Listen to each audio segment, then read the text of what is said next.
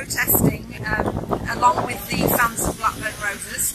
Both of our clubs have, are having problems with our owners. Uh, I think this is just a start of fans recognising they've got to work together off the field as yeah. allies to try and bring pressure to bear right across the whole game to get the authorities to make some sensible changes to football governance so owners can't mistreat their clubs in the way they're doing.